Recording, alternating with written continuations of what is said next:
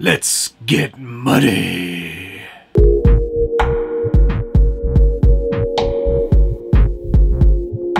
Welcome back to the Scale Builders Guild. Thanks again for watching. It's part three of the Mega Mudder Blazer build, and I'm very excited we're at the end because I can finally take this thing out, get it muddy, show off how this thing performs or doesn't perform. I guess we'll see because it's it's still sitting here on the bench and it hasn't gotten muddy yet. I wanted to go through all the final touches that I've done to the truck before getting it muddy. It just made sense to me to take you through things before and then we can see the results after.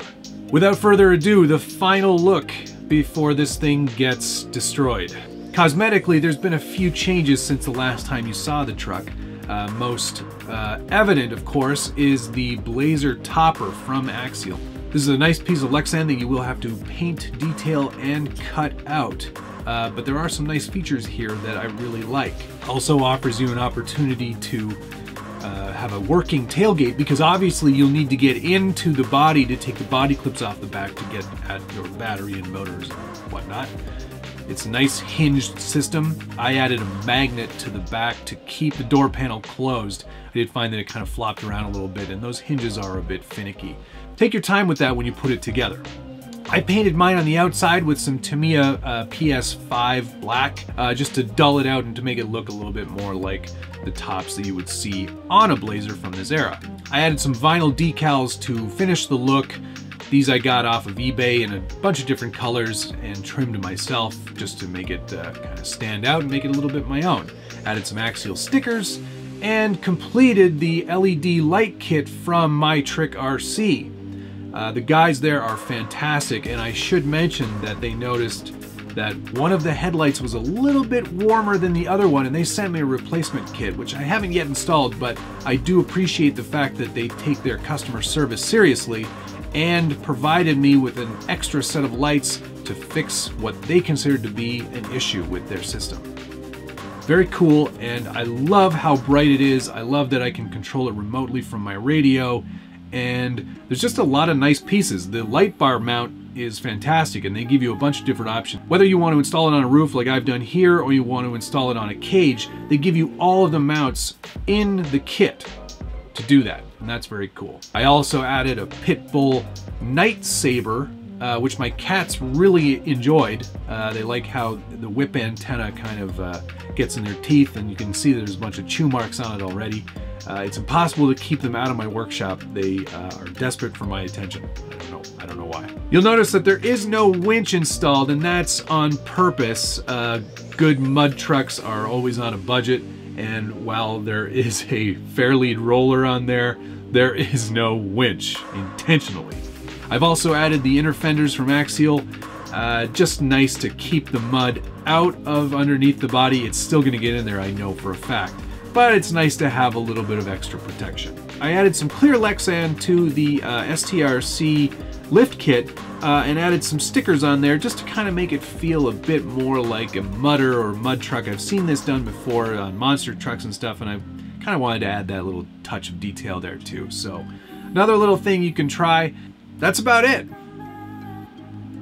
I'm very, you know what, I'm very pleased overall with the look of the truck. I think I've kind of kept it faithful to a budget mud truck uh, in terms of its appearance. Uh, these Super Swampers, a lot of people keep telling me that this is not the proper tire for a mud truck. And I did take a look at those J Concepts Fling Kings uh, and the wheels that go with those. I did put a set on order at my local hobby shop. I'm not sure. I'm going to see how it performs today with the Super Swampers. If I'm happy with that, We'll probably just forego that order and not worry about changing tires and wheels again. I hope it performs half as good as it looks. And with that, why don't we go right outside and see how this thing does.